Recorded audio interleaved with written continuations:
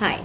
So we'll discuss a very important topic today that is thyroid parameters in pregnancy or physiology of the thyroid gland in pregnancy. What happens?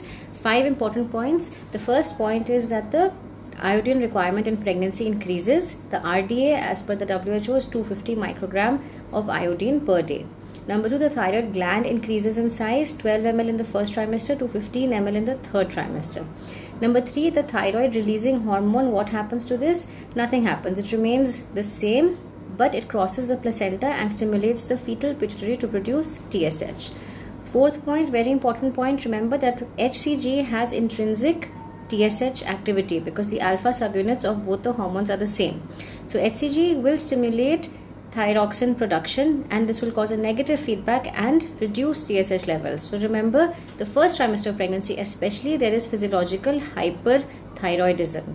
And fourth, uh, sorry, fifth important point, very important to remember, is that TBG levels, that is thyroxine binding globulin levels, increase in pregnancy. This is because of increased hepatic uh, uh, synthesis because of estrogen uh, stimulation. And when TBG increases it binds to the th- thyroxine. So increased levels of total T3 and T4 are, are increased but free T3 and free T4 remain normal or on the upper limit of normal. So remember these five points